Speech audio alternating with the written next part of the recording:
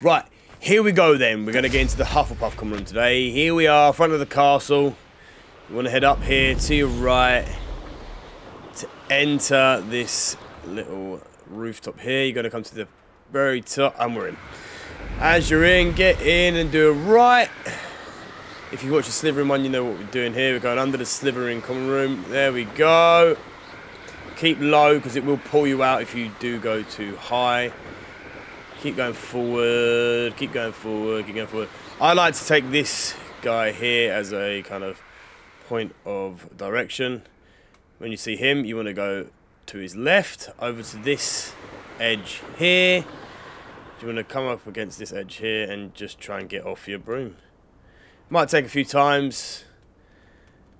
You just keep spamming that land, and then soon enough, when you hit that sweet spot, boom. Yeah, that's right. We've just got straight oh, straight into the Hufflepuff common room. Let me run out and show you.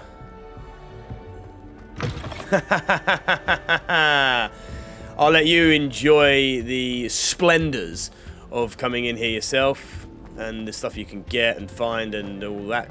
Yeah.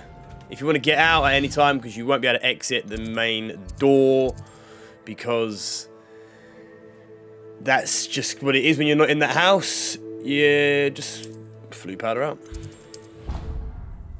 Peace! Oh, don't forget to subscribe for all the other houses' common rooms.